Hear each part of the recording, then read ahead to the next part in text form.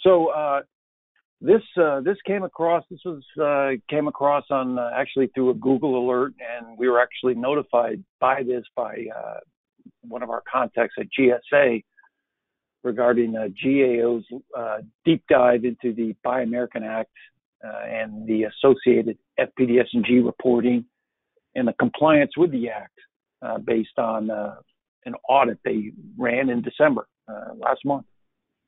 So uh, we uh, the the point here is to let's review what GAO found and and uh, what lessons learned, and we'll review what Fed Data Check, our product, has in the way of uh, similar review of uh, compliance with BAA as reported in FPDS-NG. okay, for an agenda, uh, we're going to look at you know, how much spend are we talking about? Buy American Act applies to, generally speaking, applies to, uh, as you know, uh, products, not services, but products manufactured in a foreign country. So, how much of uh, federal spend is is tied to that area? We're going to look at the three ways an award uh, would not be be uh, subject or would not require that U.S. manufactured product to be purchased to fulfill the contract requirements? What are the three categories of exceptions uh, not uh, where that would not apply? We've broken them out. I've broken them out into not applicables, waivers, and exceptions, and we're going to go through what, what those are. Uh, in addition to uh, um, the spend analysis, we're going to review what GAO found in terms of its overall finding of BAA compliance uh, by the federal government, uh, specific errors uh, that they uncovered regarding uh, awards that did not adhere to the Buy American Act, and other FPDS-NG and BAA issues. And we're going to do our data checks number 125 and 126, where uh, Fed Data Check reviews all of the transactions in FPDS-NG, at least all the civilian transactions, and flags those that appear to uh, have violated one or another aspect of BAA. All right, that's the agenda. Uh, the definitions, BAA uh, acronym, uh, DoD qualifying countries, that's going to come up what does that mean when in the context of the Buy American Act?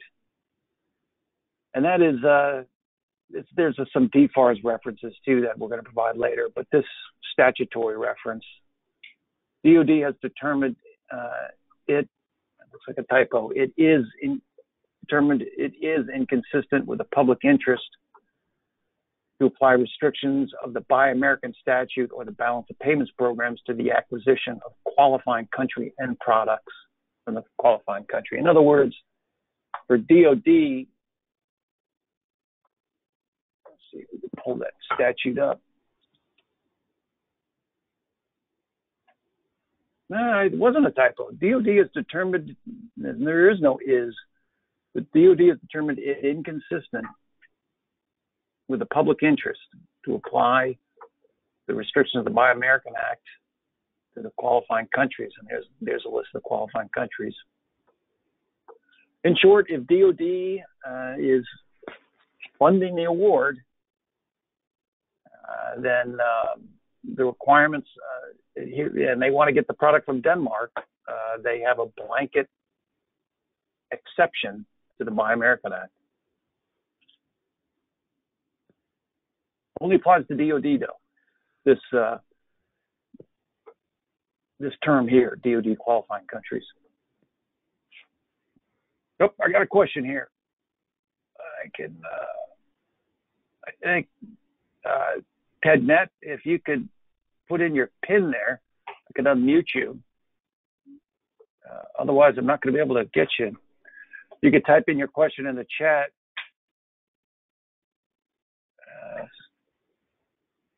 So I think I've sent you a, a, pin number there. Okay.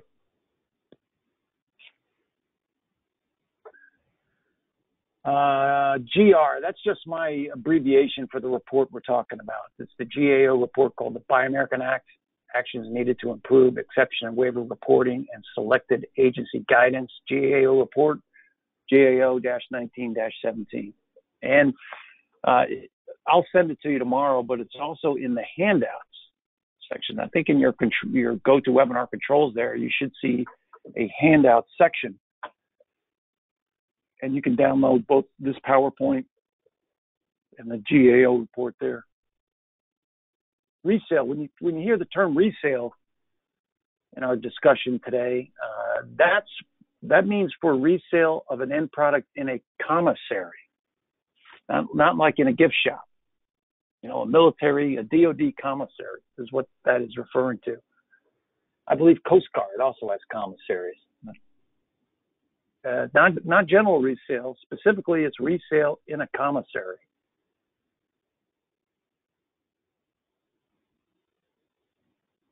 Here's one thing in the in a Buy American Act. This was, uh, as you may recall, uh, President Trump put out a, a executive order uh, either two years ago, I think it was, on the Buy American Act, and didn't change anything. Just saying it's important that agencies adhere to the act and then James Brady, uh, in a background briefing, here's the link. He came up with this quote The waivers and exemptions process in Buy American have been abused greatly. So he's making the assertion that. Uh, what's he saying there? Uh, COs and CSs uh, need to be paying closer attention to the restrictions on the Buy American Act and fulfilling the contracts and verifying that the contracts are fulfilled through U.S. Uh, made products.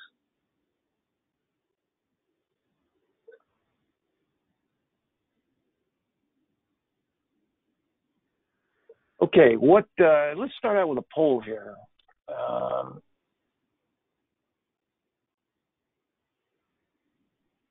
and Let's see if that poll's coming through. It's distributing now. What countries have the highest spend of those polls must be closed to enable screen sharing. There we go. So does so in other words, uh, does South Korea so do does the United States buy more foreign end foreign made products from South Korea or Greece? for example.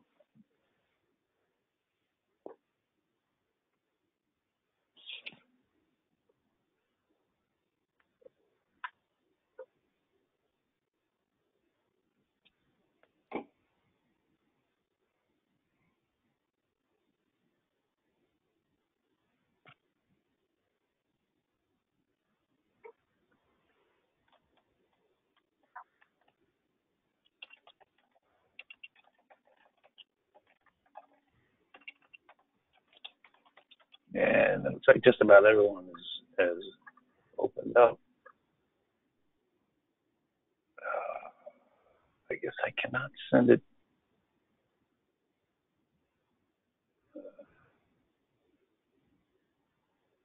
Okay, let's see. Let's close it. And it was the first one was uh, was the correct answer. Let's take a look at that in the GAO report. So they do have something at the bottom here where they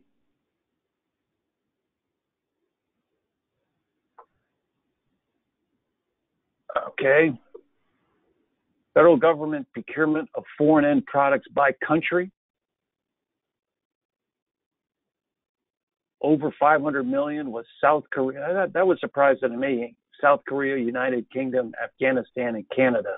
South Korea. Wow. I wonder what the heck we're buying from them.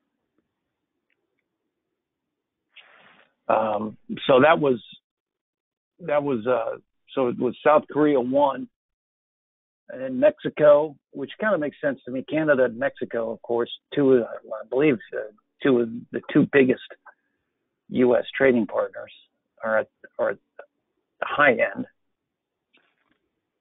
uh, and then Greece is ahead of Sweden. I didn't wouldn't have thought of that. I would have. Well, so some interesting uh, things there, you know. Uh,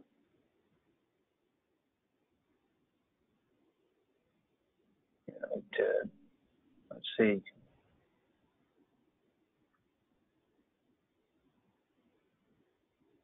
Ah, anyway, uh, it's just an interesting analysis that you wouldn't have thought of.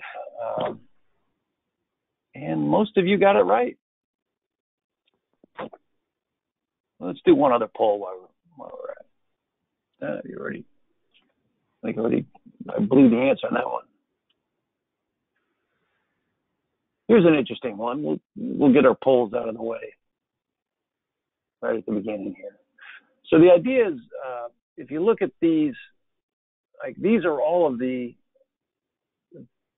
WTO and free trade agreement countries right there are in this brown. So you got the uh, Mexican free trade agreement, of course, the NAFTA. Uh, in terms of WTO, World Trade Organization, New Zealand over here, a lot of European countries. South America, I know, had a big trade agreement with us. So my question there is, what one, what one, name a country that is not covered by a free trade agreement World Trade Organization, South American one, NAFTA, but is one of those DoD countries that that they've made an made an a blanket exception to the Buy American Act. So DoD can buy from this country uh, without adhering to the restrictions in BAA.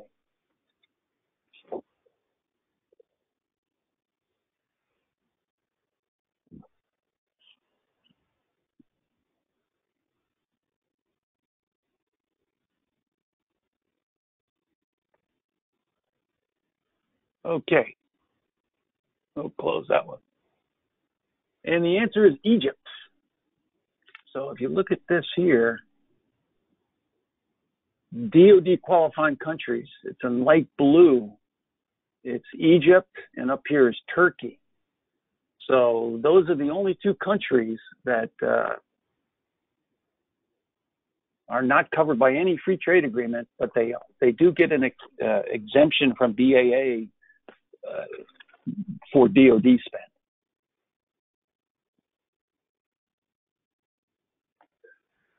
Okay, what? Uh, well, actually, let's pull back up that.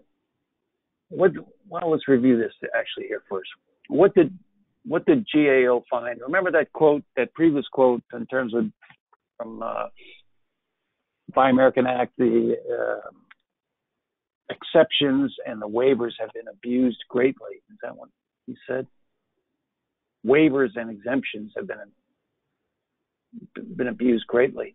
Well, you know, one of the things there is the uh, the percentage of spend is tiny.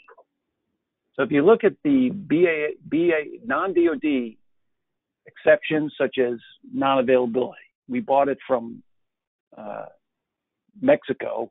Why? It wasn't available in the United States. There were no manufacturers in the United States. That would be a BAA exception, uh, or through the Trade Agreements uh, Act. Uh, it's only 0.6% of the spend on end products, 1.25 billion, according to the GAO report. Uh, now, the DoD, we talked about the DoD uh, has determined that it's not in, not in not in their interest uh, to abide by the BAA for qualifying countries. That's a that's a higher spend. That's 2.9 billion. In the total spend on foreign end products, as we'll see, and recall the numbers 136 billion. Uh, now, this is a common sense uh, exception of the Buy American Act. It was manufactured outside the U.S. for use outside the U.S building an embassy in Cuba. I know that that's come up. Uh, you know, where are you going to get your concrete? You're going to buy it from a local supplier, supplier in Cuba. Uh, although actually, construction materials can, I think, have some additional requirements. But uh, you know, obviously, you got a military base, or you got something else, or an embassy outside uh, the United States. You're not going to be shipping in the products from the United States often. So that's an exception. That's 3.7 billion. And another one that's where BAA is not applicable if this buy is less than or equal to the micro purchase threshold. Total micro purchase threshold spend is nine million, so it's uh, not not even a rounding error. I looked at the GAO numbers and compared to what's in FPDS-NG now, uh, and uh, the numbers are close but not exact. So in other words, if you ran the DoD exception for qualified countries for FY17, it would be close to 2.9 billion, but not on the money. FPDS-NG is changing all the time. Maybe when they ran it, you know, some additional transactions had trickled in. And uh, GAO concluded that the FPDS-NG data is reliable but not exact in determining what is the actual spend on foreign products through, through acquisitions. Reliable but not not to the penny.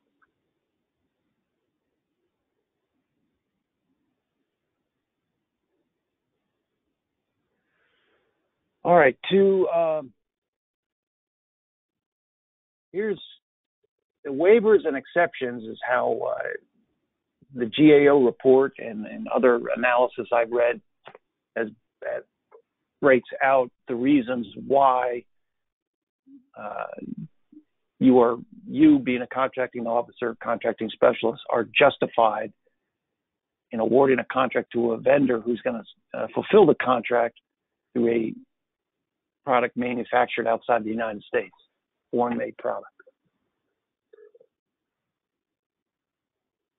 I also added a not applicables category.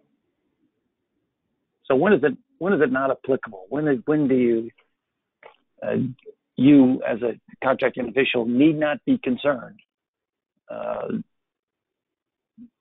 that the uh, product uh, is a foreign product, or manufactured outside the U.S. for use outside the U.S. You can look at FAR 25100B. Let's go ahead and take a look at that. Now I have to, you know, you always there's a thousand and one, not a thousand, but a lot of caveats and distinctions you can make. Like one I'm thinking now, read the section. You can't buy it from uh, North Korea. That's covered by something else. 25 100B. Let's take a look at that. 25 100B.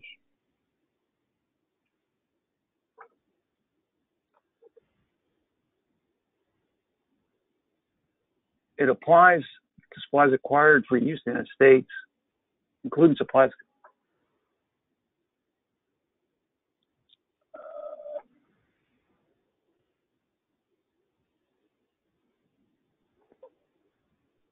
Oh, looks like I got the wrong manufacturer outside the use.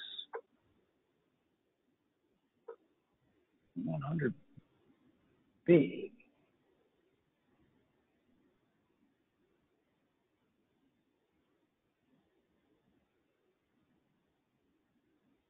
Okay, I'll have to take a look at that one. Looks like I got a, a wrong reference. Uh,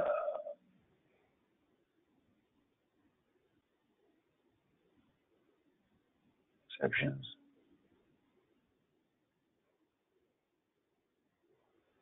Okay.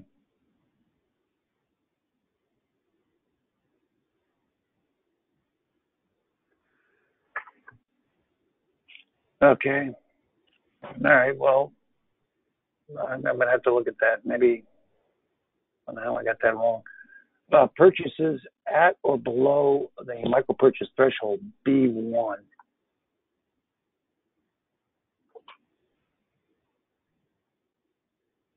So the Buy American Act, uh, if you look at this, Buy American Act applies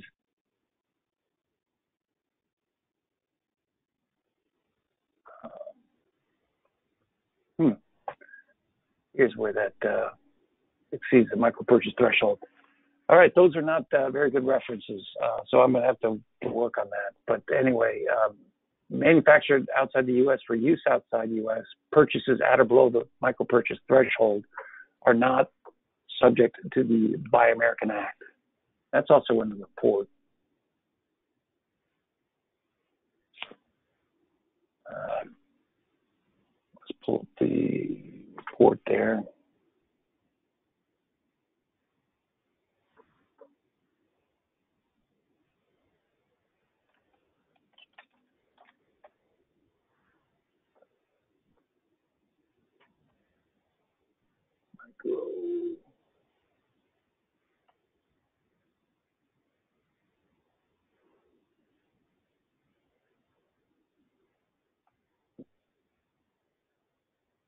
There we go.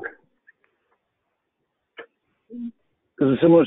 This this is off the GAO report. This is similar to other circumstances where the Buy American restrictions do not apply, such as acquisitions for pro- of products for use outside the United States or contracts valued below the micro purchase threshold. So there's a pretty good quote, even though my uh, backing these two statements up uh, Buy American Act does not apply in those two cases. All right, uh, let's talk about the next one, a waiver, waivers, it's all called. Trade Agreements Act. Offers of eligible products receive equal consideration with domestic offers, FAR 25402A. Yeah, know that I'm getting nervous about that one. Let's see if I can find 25402A.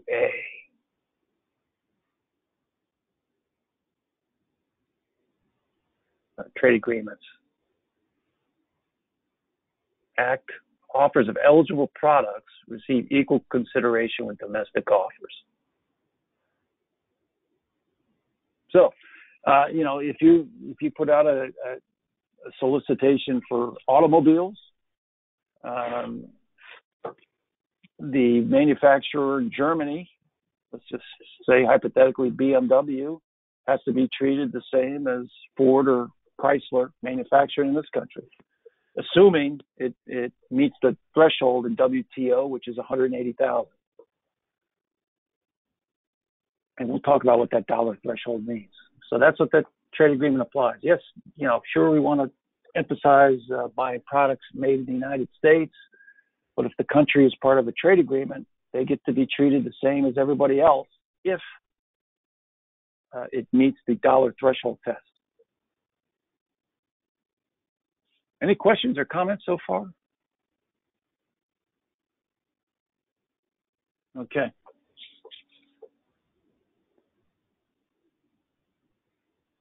Uh, then, then there are five. So we've talked about not applicable. We've talked about waivers. Now here are the exceptions to the Buy American Act, which means uh, if they're if they're well, let's go through what those are. Domestic non-availability. Um, and you can, better yet, what we're going to do is we're going to pull up the FPDS-NG data dictionary and go through those there.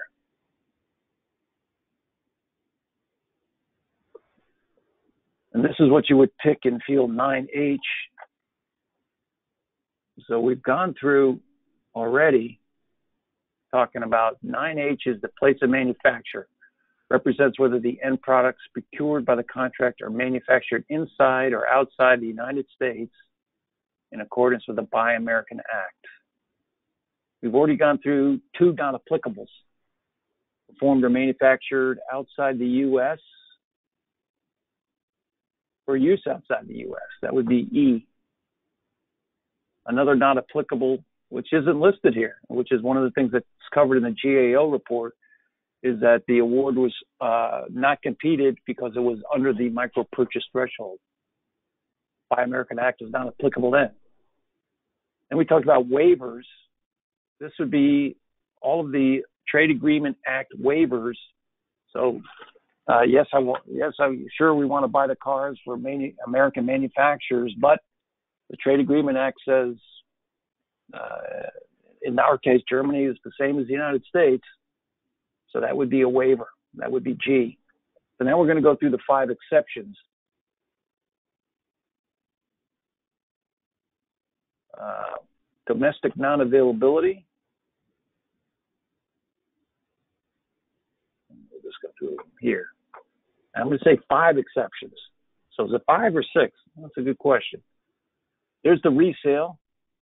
I bought the manufactured product, but I'm going to resell it in a uh, Department of Defense commissary. Buy American Act doesn't apply. Exception number one. Exception number two, commercial information technology. You're buying an IT product. You don't have to, you need not concern yourself whether uh, the manufacturer of that soft IT, commercial IT product was an American manufacturer or not. Now, I was, I'm not counting the, the North Korea and the China exceptions there either. You can, there would be another layer of complexity. Commercial IT has a blanket exception to BAA. Reselling the commissary, commercial IT, public interest. Uh, that was a DoD, quali- uh, DoD qualifying country. The Department of Defense has made a blanket public interest exception that hey, if we're buying uh, buying a manufactured end product from Egypt, uh, it's not in the public interest, the United States public interest, uh, to apply the BAA restrictions to that spend. That's exception number three, which is going to actually that's going to be related to this one. Okay, exception number four, non-availability. That makes sense. Yeah, we yeah we didn't buy it from an American manufacturer. Why? No one no one here makes it. That's four, and three is unreasonable cost, which is in here somewhere. There it is, four, five. Resale, exception number one. Blanket IT, exception number two. Public interest, exception number three. No one's making it. Non availability, exception four. Unreasonable cost, five. And this is a subset of this. So when the DoD said we're not applying BAA because it's a qualifying country, that was a public interest determination. So all of those exceptions listed under L is a subset. They break it out, but it's it's a subset of I. That's why when you read through the GAO report and other analysis of the Buy American Act, they're not going to list six exceptions: domestic non-availability, IT, resale, unreasonable cost, public interest, and qualifying country. They only say five. That's because this one here is a subset of that.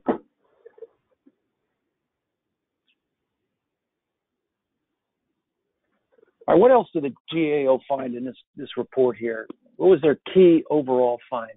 This is the one we're talking about. This is the report right here.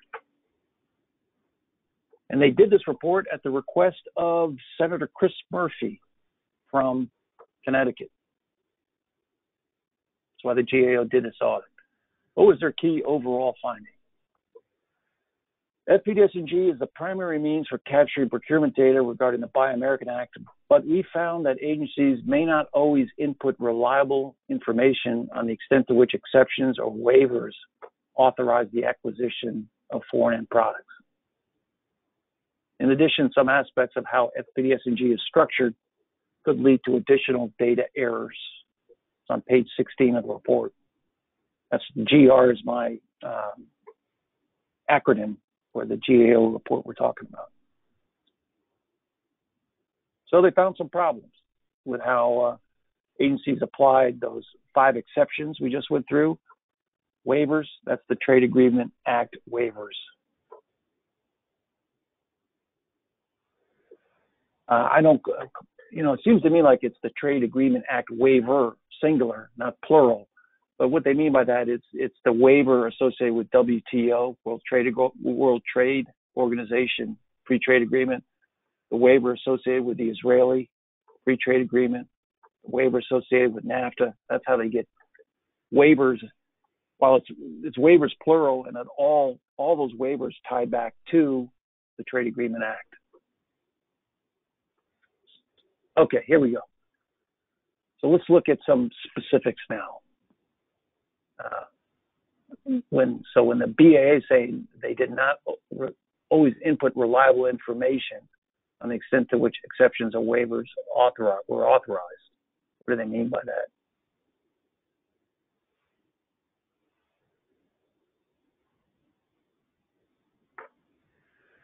Okay, incorrectly applied a Trade Agreement Act waiver. More than, this is a quote out of the report, more than 5% of contract obligations reported for trade agreement waivers were for awards set aside for small businesses, which would not be eligible under the TAA. Let's take a look at that in the report. Page 17.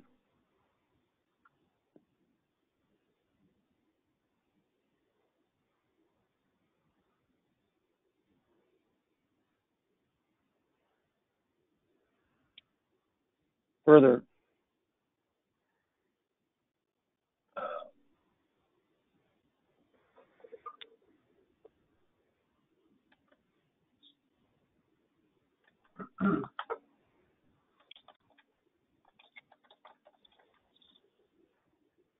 here it is here.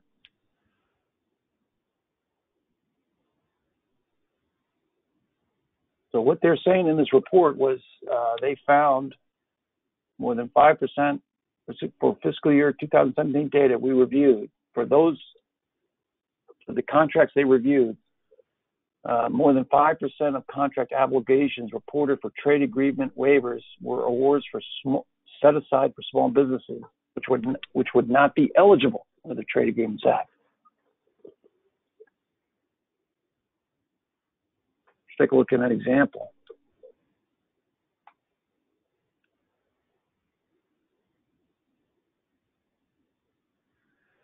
Okay, so that's an FY17 award by NIST uh, under Commerce. And if I scroll down to the place of manufacture, where what were they buying? They were buying electrical connectors, and they said, "Look, whoop, we bought it from Japan, and we're citing trade agreement authority. We did not use American manufacturer. Why? Uh, we were obligated to." Is really what they're saying. Or uh, we we had to treat this Japan vendor the same as a U.S. vendor through a trade agreement, and that's why we bought it from from them. We bought it from San, Santec USA, and they used a small business set aside. It's not allowed. You know, the acquisition one one you read that in the GAO report but if I go to 25 401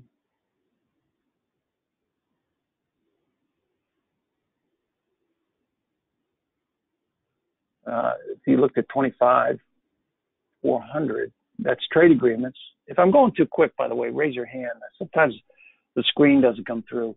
But i'm in subpart 25 4 trade agreements. I'm going to look at exceptions. Trade agreements does not apply acquisition set aside for small businesses. You do you do a small business set aside.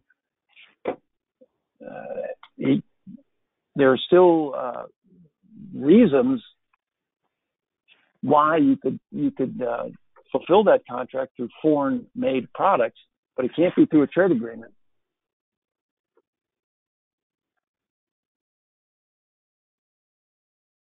So that's an error they found.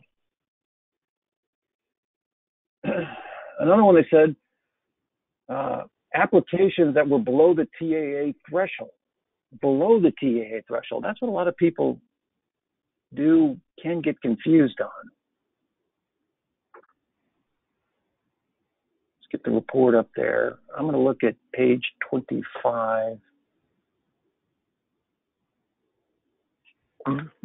Excuse me. Of the report.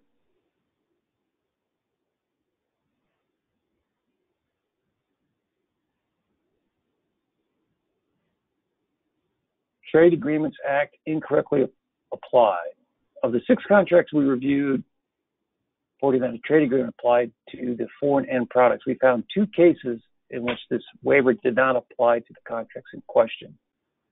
The value of the contracts is one factor. The value of the contract is one determining factor for whether a trade agreement waives the Buy American Act requirements. I'm going to say that's false.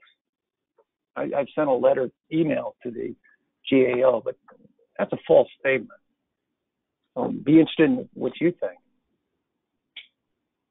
Although the FAR states additional factors that would affect applicability under the statement. That's pretty vague, you know. So maybe that's their out qualifier. But they keep saying that that the threshold, the dollar thresholds on the Trade Agreement Act apply to contracts, acquisitions, in particular acquisitions, and that's not the case. Then they go on to say that the two contracts we found, both from VA, at total dollar values at award pretty low, which were less uh, than any of the threshold at which the trade agreement waivers of the Buy American Act are applicable. So those are the dollar values there. So let's let's call it 12k was the was the highest one. So they're saying in those cases uh, the Trade Agreement Act was a, a erroneously cited as authority for buying the foreign end product. They list the thresholds up here. So it was 12K. So for the foreign vendor to be treated the same as the United States vendor, the dollar threshold on WTO is 180,000. So they were right. GAO is right that 12 is less than, than that. And if I look at 12K, it is lower than any of them. The lowest is Canada at 25,000. So if the acquisition is a is a uh, above twenty five thousand, then the ca- Canadian vendors are on the same playing field as the United States vendor. So what's what's the distinction? Uh, i am going to get back to that, but uh, no, I won't. Let's take a look at FAR. So I think not I think when you read through the GAO report, they repeatedly say that the that these dollar thresholds on the Trade Agreement Act apply to contracts, apply to individual acquisitions, and that's that's not correct. Let's take a look. 25403 B.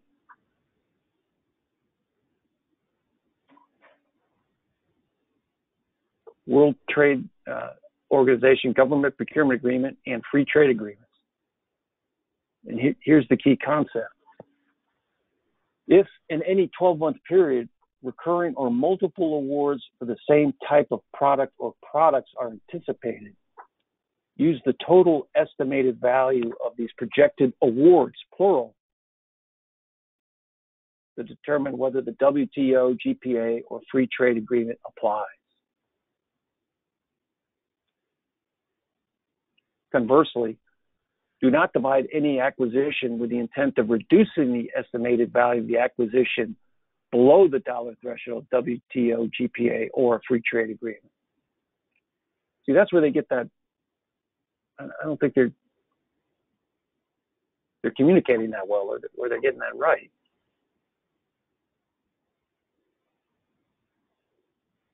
Uh, what was that? here. These two contracts from both VA had total dollar values of eight thousand. You know, who cares? You know, so it's a factor. But what if you know? What if VA? What if this eleven thousand nine hundred fifty was for you know a, a new hospital bed? Just take a new high tech hospital bed, and they bought one of them to you know on a one off cases, but in the next uh, three to six months, they were planning on buying 500. Well, in that case, the according to 25403 B3, then they would be correct in specifying uh, the award. We purchased the award from a foreign manufacturer through a free trade, free trade agreement. Why? Because the cumulative spend for that type of product was going to be way over the threshold. So these, these thresholds don't don't apply to individual awards. They apply, uh, you know, whatever that, that language is, to the same type of product or products in any 12 month period. But anyway, here's an example. We can take a look at one that, you know, sure can um, raise an eyebrow, but is not necessarily incorrect. 21,000.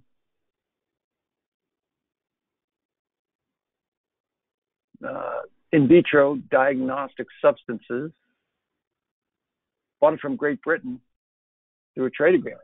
Uh, you know, if they're buying a lot more of those in a 12 month period, that that's the correct correct thing to do. All right, pick uh, what what else did GAO find? Uh, they picked the wrong exception. Remember those five exceptions: resale, um, IT, commercial IT, uh, non-availability, too much cost, unreasonable cost. What's the one I'm missing? Resale, IT, unreasonable cost, domestic non-availability, and public interest. So they were just saying that in the con, you know, they reviewed what was what was uh, designated in FPDS-NG and what was in the contract file. And in FPDS-NG, they put down unreasonable cost, which is K in the place of manufacture field. They looked in the contract file, and it was actually J, not domestic availability. So the, the CS or CO just simply picked the wrong exception on the drop down. Uh, but here's another one they, they point out. Uh, if you look on page 17 of the report, which is a which is a good check to have.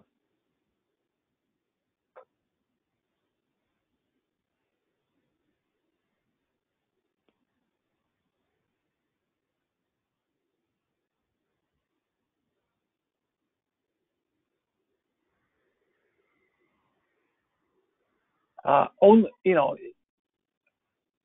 I'm going to double check it, but it's got to be if you put a DoD qualifying country exception. Again, those are the, the blanket exception that DoD has made for certain countries. That's okay if DoD has funded the award, but if it's a non-DoD, certainly if it's a non-DoD funded and a non-DoD contracted award, you can't put it. That's not applicable. Um, For example, we reviewed 8.3 million DHS contract for engines manufactured in Germany that were recorded as a DoD qualifying country exception in FPDS-NG, although this exception is not available to civilian agencies. So DHS can't can't claim that exception. And here would be here would be an example. Low low spend Coast Guard. That's a that's a DHS agency, except in time of war. Uh, Canada, and they put qualifying country DoD only. They can't do that.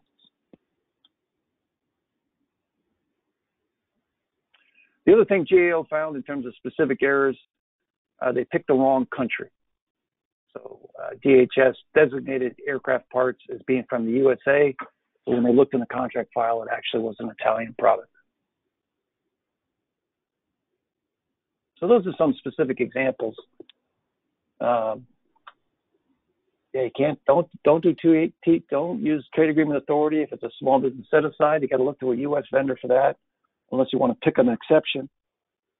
Um, check those thresholds. Uh, if you're going to do the DoD exception, you got to be DoD funded, and a simple oversights on some of those. Pick the wrong pick the wrong exception on the drop down. Uh, actually wasn't a U.S. product. What else did they find? GAO. What they would like to do in FPDS-NG is if the award was not competed because it was under the micro purchase threshold, then just gray out the place of manufacture field. It's not applicable, and it's a tiny amount of spend. But if you look at this one here, FBI, Treasury, so if I come down to the competition section, it was less than the micro purchase threshold, but you know the person still put place of manufacture out, outside the U.S. What the GAO report is suggesting is don't don't make the CLCS fill this out. Just ghost it out. It's a tiny amount of spend, and the place of manufacture is not applicable on, on the MPT buys. So that's a change that they are recommending in FPDS-NG. Another thing they say is, what if the spend uh, GAO said, you know, what, what if this, what if the acquisition was for included both USA and foreign products? You know, the answer is you got to go with the preponderance of the spend, but uh, GAO uh, thought uh, being able to break that out somehow would be helpful. Seems like more more complexity in the reporting, but that's something they raised the possibility of doing. Uh, here's one.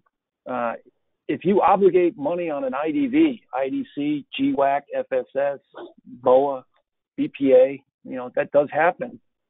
You still can't designate the place of manufacture. It's ghosted out. FPDS-NG will not let you enter a field.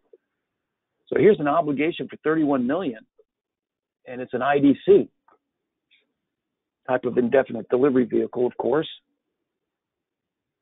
Uh, the vendor is the United Kingdom, is in the United Kingdom, and it, um, it's certain to be manufactured in the United Kingdom. Why? Because the domestic or foreign entity is foreign-owned business, not incorporated in the U.S.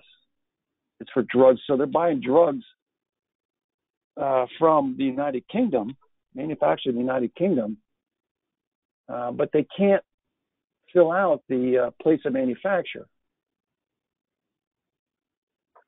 which is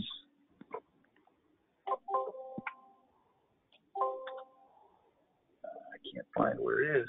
Hmm. Or it's just maybe it's just not even a field. It's got to be in here somewhere. I saw that.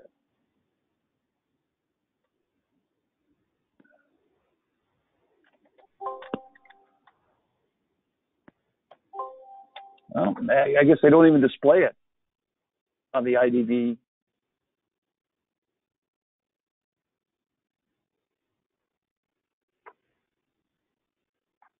Where would it be? Let's see if I got go back to here. I found it back here. So the place of manufacture is in the product or service information. And on an IDV, they just don't even list it. So it's just blank, It's not even shown. You cannot pick it. So on that one there, uh, they were HHS was obligating money on the on the IDV uh, quite a bit, and they couldn't designate uh, where the product was manufactured. FPDS-NG does not let them. Uh, that's another thing GAO recommend recommends changing. Yeah, they talk about lack of training. I don't know if, uh, if that's been your experience. HHS uh, VA in particular are two they singled out as uh, doing some more robust training, uh, some at department level training on the Buy American Act. It's pretty pretty com. I would, based on my experience, a more complex topic. Now, one of the things people have been doing, uh, I forgot, I think this was DOD. They have a tool that just step by step a document that walks COs through the process of uh, determining whether the Buy American Act applies. So some job aids. Some departments are doing it, some aren't. That would be a pretty handy one to have, particularly if it was online. Uh, we already went through that. They erroneously, you know, erroneously picking a TA, TAA wa- waiver instead of the correct BAA exception. But when you do that, when you when you designate that it was a TAA waiver and, and not a BAA exception, so they look, yeah, we had to buy it from Israel uh, through the trade agreement. Now, I, I say had to, but you know, we we treat the Israeli vendors the same as the U.S. vendors. I think the threshold there is fifty thousand, so that's why that that was our authority for using that vendor. Uh, if instead the actual reason was domestic non-availability, uh, that circumvents uh, higher level reviews and written determinations. They found that in some of their reviews of the uh, contracts. And in some cases, they they was just wrong. The, oh, this one, yeah, the vendors certified their products were domestic end products, although they actually were, were foreign. So it's a little, little uh, mix up on the vendor part. Now, uh, some of you may know better, uh, not may, some of you do know better than I. The uh, certification of uh, where the products are made is you can do a blanket one, you being the vendor can do a blanket one in SAM, and then when you do the solicitation, you can put a clause in there that also requires the vendor to certify where they're coming from. So two places where they you can pull that information. All right, uh, we're wrapping it up here, coming to an hour. Hey, any questions so far? Comments? I'd love to hear your own personal experience. If you wanted to share some with the group, that would be great. All right, we uh, Fed Data Check. We, as you know, uh, you're with us. Uh, if you're on, on this webinar, you uh, your agency is a subscriber to Fed Data Check, where we review uh, all the transactions and, and among other things, uh, look for uh, violations of the Buy American Act through our data checks 125 and 126. So uh, here's one where we flagged it uh, as erroneously citing a trade agreement waiver, but it was below the threshold. So it's 38,000.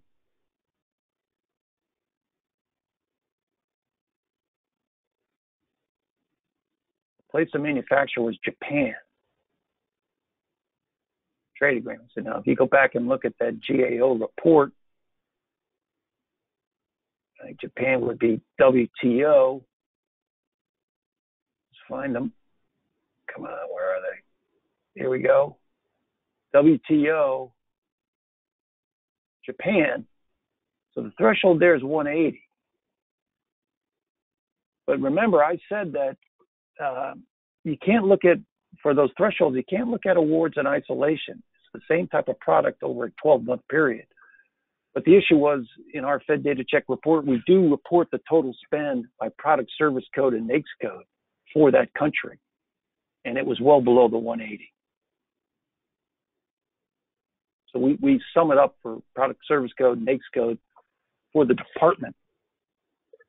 And uh, in this case, for NIST, um, that spend was well below 180. So we don't see that as being TAA eligible. Again, that that a little bit counterintuitive to some people. It's if the if the award is too low, if it's under the threshold, then you're obligated uh, to use a, uh, a United States vendor. If it's above it, then the Japan vendor can be treated the same as the U.S. vendor.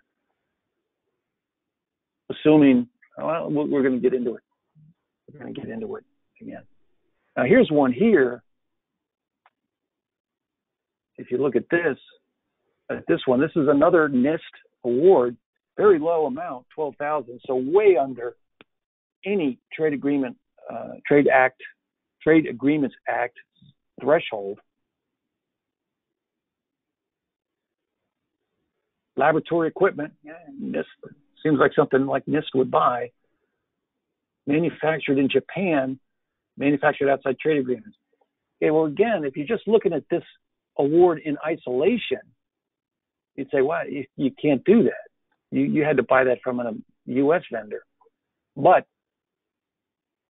Fed data check again, we do sum up the spend uh, for commerce for that product service code and NAICS code and it was way above the threshold. So that one's probably okay. That, that, legitimately, legitimately, and should have cited trade agreement authority, and the Japan vendor was entitled, a Japanese vendor was entitled to be treated the same as a as a domestic vendor because of the, the 12 months spend uh, for that type of product. All right, what else do we look for? Here's some Here's some ones that, again, the GAO mentioned report. Remember, they said the GAO, we went through that earlier, that if it's a small business set aside, you can't cite trade agreement authority as a justification for awarding a contract to a vendor who's going to fulfill the contract with foreign made products. So th- this comes up a lot. And again, the GAO report, as we saw, specifically referenced it. And it is something that the uh, President Trump and the executive order and that James Brady guy also emphasized in their announcements. So this was not much money, four thousand bucks, but it's a Veterans Affairs. This was specifically addressed in the GAO report. German um, place of manufacture, manufactured outside U.S. trade agreements, you're under the threshold. But that here's the problem: it was an SDVO set aside. Yeah, that is that's just flatly inconsistent. You can't do that.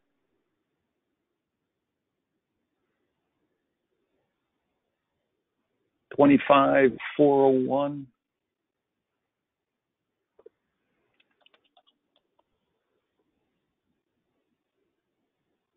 Twenty-five.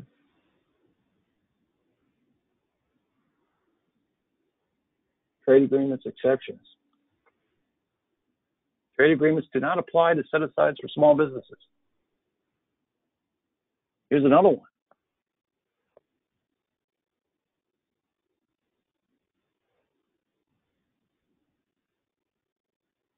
Forty thousand dollars by uh, U.S. Customs and Border Patrol protection, CBP. Ammunition from Great Britain. Can't do it. You can buy it from Great Britain, but you can't you can't you can't cite trade agreement authority. Not allowed.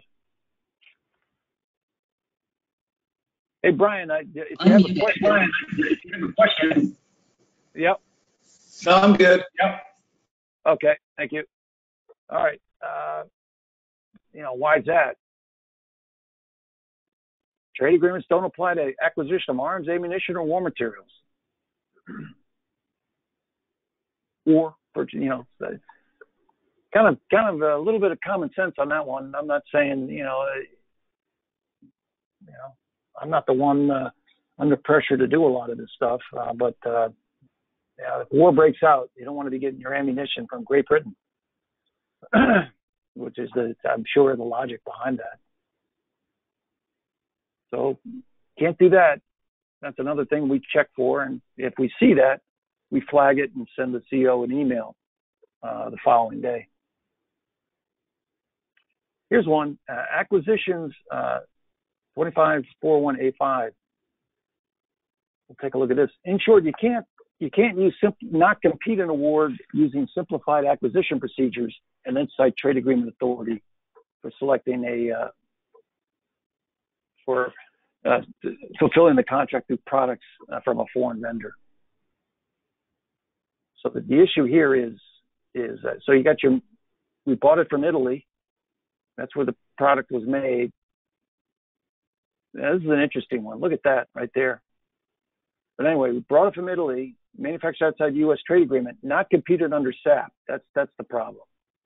You can not compete it, but you can't use simplified acquisition procedures. It's not competed under SAP, and the uh, manufactured outside U.S. trade agreements. That's that's in conflict per 25 401 85, I believe. 25 401 85. Now this is one we do see, and what we, we reviewed in another Buy American Act. Anyone have an idea what they what they should have picked here? Let's let's review the exceptions and then we and then this this is we're almost done here. So if you look at the exceptions, data dictionary exceptions.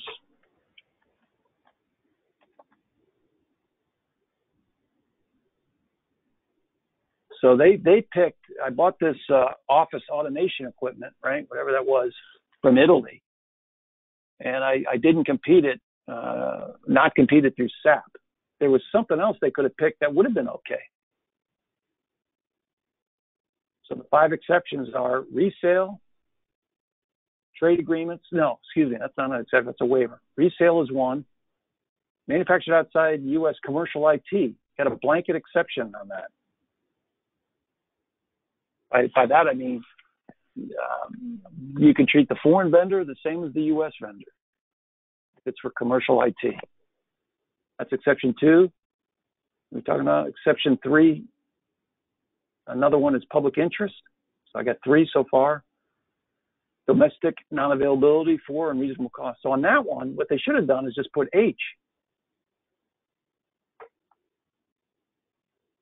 So what would not be inconsistent, which would be a, a legitimate entry, is flip that to H. So I bought office automation system equipment. That sounds like commercial IT to me. Uh, yep, it was from Italy. They they were the best vendor. Well, why didn't you use an American vendor? I did not compete it under SAP. I had justification for that, pretty low spend. Well, what's your justification for doing that? Why didn't you, you know, following uh, whatever that guy's name was, Brady, and some of these others who's saying that the these exceptions and waivers are being abused greatly. You know, what could you have done? Flip that to commercial IT. That would be perfectly consistent with the FAR.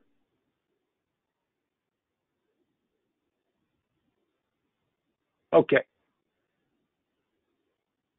In review, last slide. I think I got a couple good general tips, and I would like to get your comments on this. Uh, we'll get one comment before we wrap up here.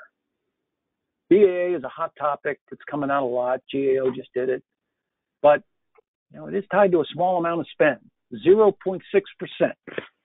If you look at uh, exceptions and the Trade Agreement Act waiver, and that's 0.6 percent of products. It's not even counting even lower if you throw in services you know, uh, 1.25 billion. So I'm not going to minimize it, but it's not a lot. So here's my tips that I came up that I th- I think would be useful to think about when you're going through designating the 9H field and you, GAO doesn't flag your award as a problem. General tip number one: if the obligated amount is less than the SAT, and if you designated in the 9H uh, place of manufacture field. G, manufactured outside the U.S. trade agreements in the place of manufacture field, double check. So if you got a low dollar value award and you're designated and you bought that through trade agreement authority, just just uh, take another 10 minutes and think about whether you uh, whether the dollar threshold test is actually being met. Typically, you know, if you're going to be under the SAT, you're you certainly might might be uh, under one of those trade agreement trade agreement act thresholds. So then what you're saying is, well, yes, I'm under on I'm under the threshold on this acquisition, but we have more planned, or we had already done some in the previous 12 months that puts us above the threshold. But that should that should be a warning flag. You know, trade agreements and under the SAT. General tip number two: don't put manufactured outside the U.S. trade agreements, don't cite that authority if you used a small business set aside. Don't don't have the contract uh, fulfill its products through a foreign vendor if it's for war materials, arms or ammunition, and if you did not compete it using SAP. So those are the three big ones we see: trade agreement authority com- combined with a small business set aside, or buying ammunition, or not competed award using SAP. Those are the okay. All right. What uh, what do you think of my general tips there? Who's got a thought, or based on your experience, what would you say about those tips?